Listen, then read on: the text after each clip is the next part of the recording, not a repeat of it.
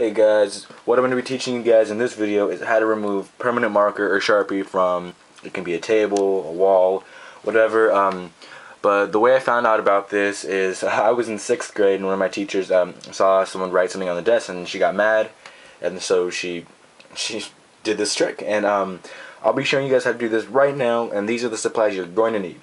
A water bottle, some shaving cream, and last but not least, a rag.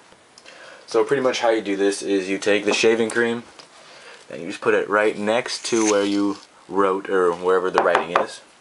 And then you take a rag right here and then you want to start rubbing it in slowly and start pushing harder and harder and harder.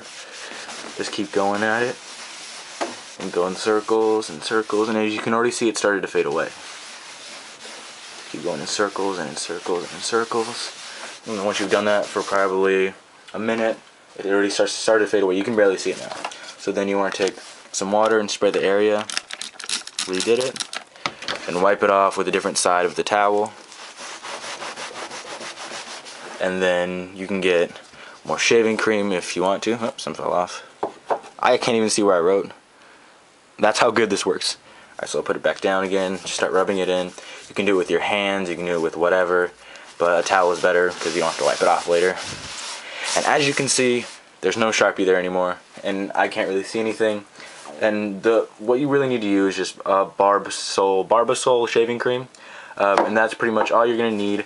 Um, and the supplies that I showed you earlier, and that's pretty much how to get Sharpie 100% off any desk or table or wall or whatever it's written on. So thank you guys for watching so much. Leave a like, it helps me out a lot.